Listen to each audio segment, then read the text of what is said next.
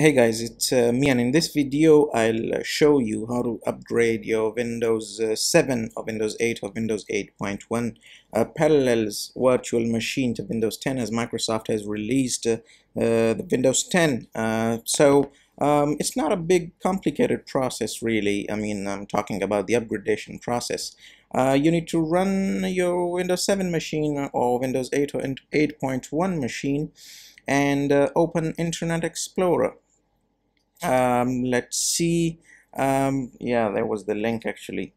That's the link you need to visit. Uh, you, mm, you only need to visit this link. I'm going to um, you know the actually this link is going to be given into the description uh, below. You can copy it from there.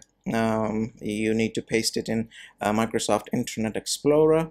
And uh, scroll down um, see even if uh, even there are some instructions over here before you begin.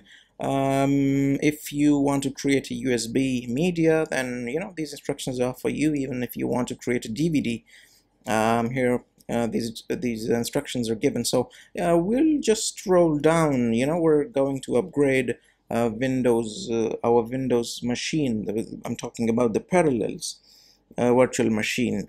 So um, if you have a 32-bit operating system um, you know I just need to click uh, this button or for the 64-bit version um, you need to visit this link. Actually it's uh, going to start a, a, a download. Uh, so click on it uh, download a program. Um, let's click on it. I already have downloaded but just in case uh, you wanted to know see uh, this is the name of it media creation tool I already have so I'll pause it or cancel it and I'll just go directly to my downloads directory. And there I have yeah media creation tool. So um, run it once it's downloaded. Yes. There you have.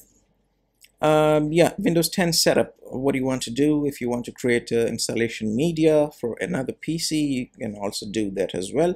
But uh, what we are going to do it's actually we are upgrading our a virtual machine. So going to select the first option upgrade this PC now and uh, press next. Um, I already have upgraded uh, my Windows as you can see. Uh, yes there it is the start menu again. That's beautiful. Anyways uh, so um, the process actually is when you uh, press the next button is going to download the Windows 10 ISO and it's going to take a lot of time because I think it's about 3 GB, I mean roughly 3 GB. Uh, so it's going to take time and it's going to start, you know, the upgradation process. You don't need to do anything else. Really, I mean, that's it. So go ahead and uh, download it, upgrade your Windows.